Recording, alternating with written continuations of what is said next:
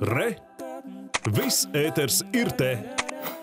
Vēl gandrīz divas stundas ar ziedotāju dziesmām un sarunām, un tas brīdis būs klāt. Stikla studija Doma laukumā tiks atslēgta, un mēs uzzināsim, cik līdz šim saziedot sabiedrisko mediju rīkotajā labdarības maratonā dod pieci. Jā, visa nauda tiks izlietot Latvijā mītošo Ukrainas kara bērnu atbalstām. Maratona noslēgums būs skatāms arī Latvijas televīzijas ēterā tūlīt pēc deviņiem vakarā, tādēļ, Laura, piedod, es šokar tev atstāšu nedaudz ātrāk un jau tūlīt arī došu došos uz Doma laukumu, bet jau tagad mums tiešraidē ir pievienojusies kolēģi Aija Kīnce, lai par emocijām un gaisotni, kas vēl Doma laukumā stāstīt plašāk. Labvakar, Aija, kādā ritmā šobrīd pukst dod pieci sirds? Labvakar, Laura un Jāni. Dod pieci sirds pukst strauji, karsti, un ik pa brīdim mēs dzirdam monētiņu skaņu.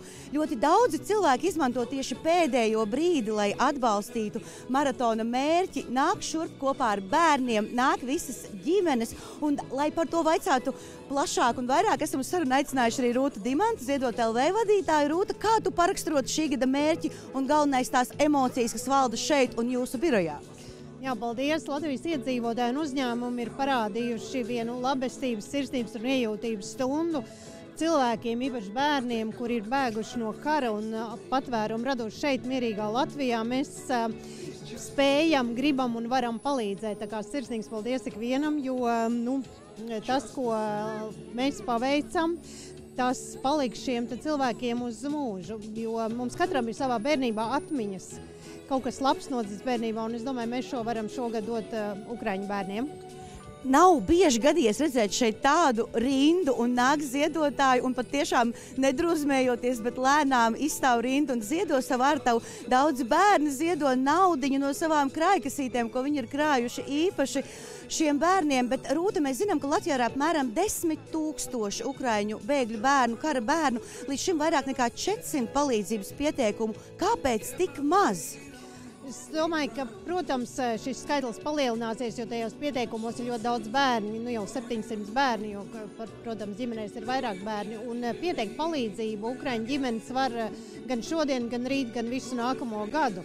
Protams, ir ģimenes, kas tiek ļoti labi pa, pašas galā, kur ir varbūt eh, mammas var strādāt savās profesijās, bet ir tādas, kuras nevar, un tad mūsu palīdzība ir vajadzīga. Tātad dot pieci mājaslapā, ja jūs zinat Ukraiņu ģimenes, kurām vajadzīga palīdzība bērniem, rosiniet eh, doties uz dot5.lv mājaslapu, jo tur ukraiņu valodā var viegli aizpildīt pieteikumu, un ziedot darbinieki sazināsies, lai sniegtu palīdzību. Un tā tad vai nu tā ir ar izglītības saistību, piemēram, datortehnika, vai ar medicīnu, vai ar sociālo palīdzību. Faktiski tās lietas, ar ko šīs ģimenes pašas bez mūsu palīdzības nevar tikt galā, mēs ar Latvijas iedzīvotāju un uzņēmumu ziedojumiem palīdzēsim. Un mēs zinām, ka pirmie palīdzību jau ir saņēmuši bērni. Šos bērnus mēs satiksim Ziemassvētku panorāmā.